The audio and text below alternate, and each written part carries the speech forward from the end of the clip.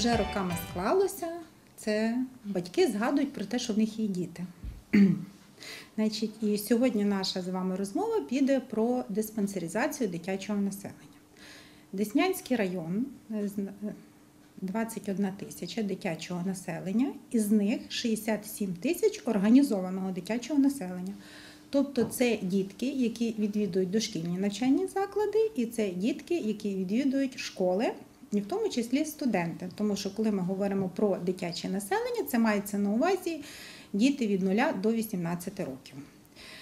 Е, Кожного року діти повинні проходити диспансеризацію. Значить, е, залишилося е, нормативні документи Міністерства охорони здоров'я. Це 434 наказ, 682, правки до нього 382.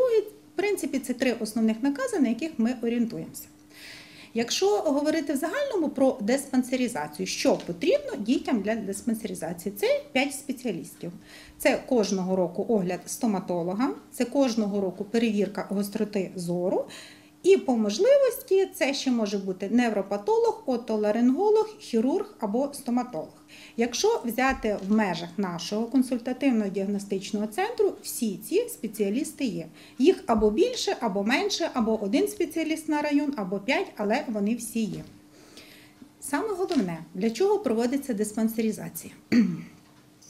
Хочу звернутися до батьків наших пацієнтів, що здоров'я в першу чергу від лікаря залежить тільки на 10%. А все інше це наше харчування, наш спосіб життя, профілактична робота і увага батьків до здоров'я. Саме перше, що потрібно батькам? 40% їм просто потрібен штамп в амбулаторну карточку чи форму 086, не цікавлячись здоров'ям. Вони приходять, от буквально минулого тижня я була присутня, коли восьмирічна дитина із мамою прийшли і, значить, до стоматолога. От нам тільки штамп. Е, Лікар оглядує дитину в моїй присутності і говорить: у вас серйозна патологія, ви це знаєте, вам потрібно лікувати. Так, я знаю, але он не хоче. Дитині 8 років. Якщо батьки не захочуть, насильно лікар лікувати не буде. Те ж саме було зроблено минулого року, їй потрібен штамп для того, щоб отримати довідку. Приводу довідки хочу сказати інше. Форма 086, яку зараз всі вимагають, наше міністерство, наше керівництво робить все для того, щоб цих довідок було менше. По факту їх уже дійсно менше. І для того, щоб оформити перший раз дитину, давайте почнемо, мабуть, із садочка. Не потрібно вже проходити цих всіх лікарів, здавати аналізи. Значить, в першу чергу пацієнти повинні собі обрати сімейного лікаря або педіатра. Лікар дивиться медичну довідку 112 форму. Значить, якщо дитина на протязі року здавала аналіз крові і він нормальний, його не потрібно повторяти. Якщо дитина оглядувалася невропатологом і вона здорова, хірургом, патології немає, лором, там немає там ніякої лор-патології, ні аденоїдної вегетації, ні там збільшених мигдаликів, цього не потрібно робити. Е, Лікар виписує довідку і відправляє дитину в садочок. Якщо є якась патологія, це може бути по тих п'яти спеціальностях, може бути гастроентерологія, ендокринологія. Значить, в такому випадку сімейний лікар або дільничий педіатр письмово дає направлення, батькам говорить, вашу дитину повинен оглянути такий спеціаліст. Це не означає, що дитина на даний момент без огляду ендокринолога, наприклад, він відпустці не може відвідувати дитячий садочок. Може, але ви, батьки, повинні знати, що планово ви повинні оглянути з цим лікарем, пройти обстеження. От і все. Батьки цього розуміти не хочуть. Вони в основному думають по старинці. І дуже часто, так як в нас вже введений електронний запис спеціалістів по Хелсі, там на два тижні наперед, лікарі замість того, наші високоспеціалізовані лікарі вторинної допомоги повинні оглядати хворих дітей. Вони займаються профілактичними оглядами здорових дітей. І, на жаль, це 70% від їхнього відвідування. Відносно школярів, от ця ж сама форма 086. Перше, перше, на що я хочу звернути увагу, огляд дітей приводиться в присутності батьків або законних представників. 40% населення про це забуває. Діти підліткового віку, батьки пишаються тим, що діти можуть самі піти до лікаря. Це неправильно, тому що цю довідку підписують батьки. І бесіда з приводу шкідливих звичок, що школа вимагає від нас, проводиться з батьками. Або е, в більшості випадків це бабуся, дідусь, тьотя, сусідка. Вони не є законними представниками дитини. Вони не повинні знати діагнози дитини, і рекомендації лікар повинен давати тільки батькам в силу зайнятості, в силу того, що батьки зацікавлені зароблянням тільки грошей, от їм потрібна довідка для школи. Значить, ми зверталися, наше районне управління охорони здоров'я, консультативно-діагностичний центр, виходили значить, з пропозиціями декілька, е, декілька разів на управління освіти. Поки на даний момент в нас немає порозуміння. Довідка 086, яку зараз всі отримують і згадують в останні дні літа, буквально за 2-3 дні, вона дійсна на протязі року. По факту, якщо ваша дитина пройшла цей огляд в жовтні минулого року, вона наступний раз повинна проходити в жовтні. Якщо ви пройшли в травні минулого року, наступний огляд ви повинні пройти в травні. Ми подавали таку пропозицію, вона залишилась, на жаль, непочутою, щоб не було скуплення населення. Ви собі уявляєте 67 тисяч організованого населення, і вони всі прийдуть або в травні до кінця року, бо їм табель не віддавали, або друга половина в серпні. Це нереально. От ми пропонували огляди проводити місяць народження дитини. От день народження дитини в січні. От вони в січні проходять цю диспансеризацію в лютому, в лютому, і тоді би це все населення планово пройшло. На жаль, батьки цього не розуміють, школа не йде нам на розуміння, і в нас вийшло таке навантаження. В результаті, що ми маємо незадоволеність батьків, великі черги, перенавантаження спеціалістів. Дуже така кричуща тема в нас це огляд офтальмологом. Я б хотіла звернутися до батьків. Е, У нас от вони йдуть, мені потрібно, щоб лікар провірив зір і тільки печатку. Кваліфікований лікар не провіряє зір. Перевірка гостроти зору це є процедура медсестринська.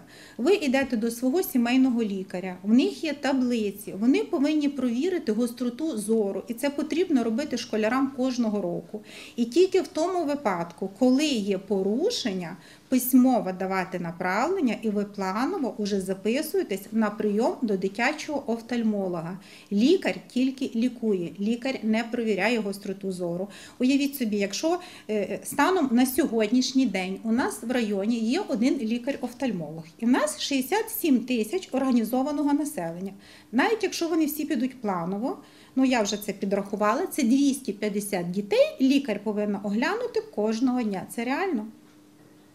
Лікар повинен лікувати тільки захворювання, скеровувати, надавати допомогу. І в першу чергу це я звертаюся до батьків, тому що вони не чують. І від того, якщо лікар тільки подивиться, зір не покращиться. Цим потрібно займатися батькам, обмежити гаджети, обмежити комп'ютери, займатися фізкультурою, займатися дітям, пояснювати, більше читати. Здоровий спосіб життя в кінці кінців, вітамінізоване харчування не кожна сім'я може забезпечити. Там треба певна певна кількість і харчування. Їм потрібно тільки штампік, перевірити остроту зріння, як обично, і отримати довідку і спокійно піти в школу. І наступний раз прийти до нас рівно через рік. Хочеться сказати, що не все так погано. Значить, відносно лікарів, в нас є всі спеціалісти в консультативно-діагностичному центрі по всіх профілях. І, значить, діти Деснянського району можуть обстежитися тут на місці, провести аналіз крові, провести кардіограми, оглянути і отримати кваліфіковану допомогу. І якщо потрібно, в нас є можливість скерувати вже на стаціонарне лікування до обстеження. Таке є. Але потрібно бажання в першу чергу батьків перестроїти їх світогляд, перестроїти менталітет. І непоганий сімейний лікар, і непоганий цей лікар-спеціаліст, до якого велика черга і не можна прийти. Тому що програмою Хелці передбачено наступний пацієнт через 15 хвилин. Лікар також жива людина. І після того, коли за пацієнтом закрились двері, він оформлює медичну документацію. У всіх наших лікарів КДЦ є комп'ютери. На перспективу вони будуть вести електронну карточку, і це також потрібен час. От то наші пацієнти умудряються цей проміжуток, якщо відкрив двері і нікого немає, значить лікар нічого не робить. Ну по навантаженню в лікаря близько 200%. І хто кожного року потребує огляду спеціалістами, це діти, які стоять на диспансерному обліку. Якщо взяти із ем, 81 тисячі, то на диспансерному обліку у наших спеціалістів консультативно-діагностичного центру знаходиться більше 13 тисяч диспансерних дітей. Ці діти повинні оглядатися тим спеціалістом регулярно. От і скеровувати їхні наступні там дії, лікування, санаторно-курортне оздоровлення до обстеження. І якщо не говорити про інвалідів, тому що інвалідів у нас півтори тисячі, от то із тих диспансерних е, дітей на першому місці захворювання це ендокринна патологія. Це 21% з усіх диспансерних. На другому місці це захворювання органів дихальної системи, це 14%. Да, да. От, і, на жаль, маємо те, що маємо. Ендокринно це порушення обміну речовин. Порушення обміну речовин, цукровий діабет, захворювання щитовидної залози. Так, так, так.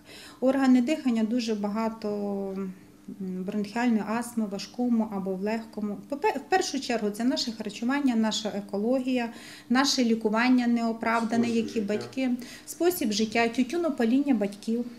Значить, вживання алкогольних напоїв, ну і наркотичні речовини, і так далі. І в нашому міністерстві в формі передбачено бесіда з батьками, які не приходять на огляд до лікарів, а присилають бабусь і дідусів, які розписуються за них, що з ними проведено, що це є шкідливі звички, і це їхні діти бачать. І потім в результаті, коли маємо такі захворювання. Скажіть, будь ласка, яка, а яка ситуація по щепленням? Е, Останнім часом ця тема досить е, турбує е, суспільство, і, як відомо, думки розійшлися. Хтось е, за щеплення, ну, в першу чергу батьки, хтось проти, але тенденція поширення інфекційних хвороб останнім часом якось по-інакшому змушує дивитися на цю проблему. От ваша точка зору цього.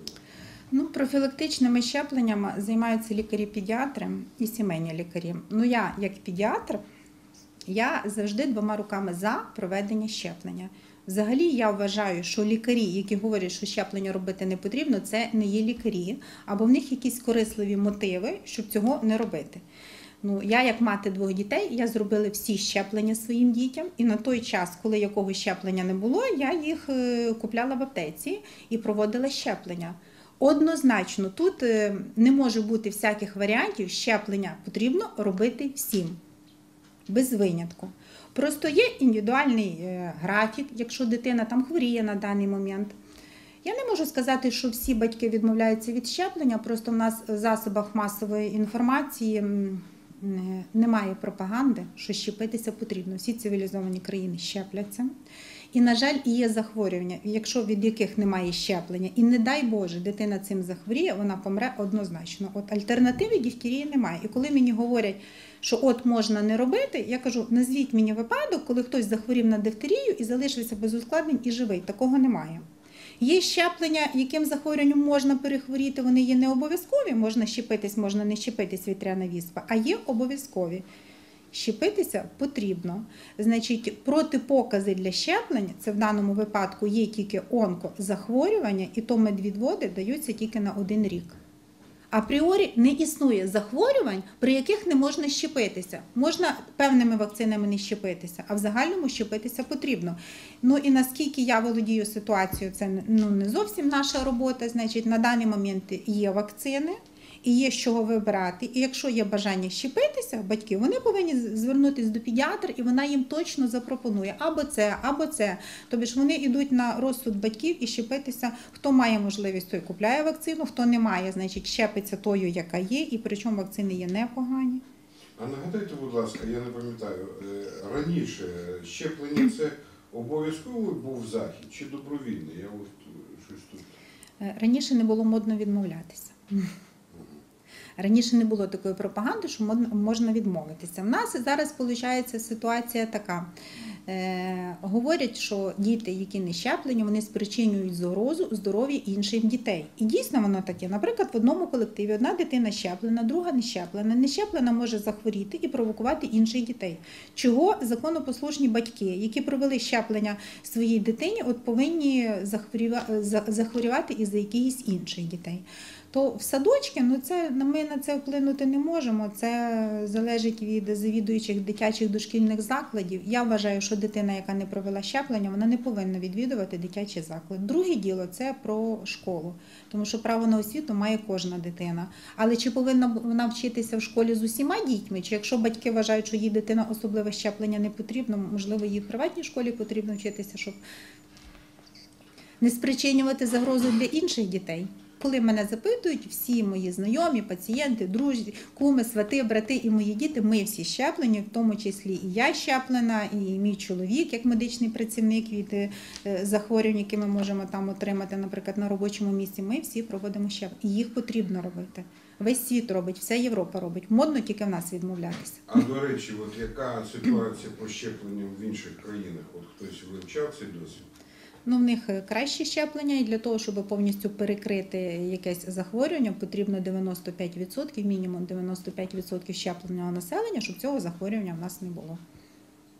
Скажіть, будь ласка, що ж е, нам чекати в цьому році, восени, взимку? Які будуть особливості захворювань? Ну, чи є таке взагалі? Ну, підви- підвищена захворюваність кожного року в осінньо-зимовий період. В жовтні підвищена захворюваність на вірусні інфекції. Ну, грип в залежності від того, він раніше чи пізніше е, до нас приходить, але він все рівно буде, коли І завжди лякають? І, і завжди лякають. І, і грип це дійсно серйозне захворювання, це не вірусна інфекція. Грип дає ускладнення. Від грипу, між прочим, також щеплення є. Підйом осінньо-зимового респіраторних захворювань буде в жовтні, як завжди. І пік ускладнень пневмонії на кінець жовтня, на початок е, листопада.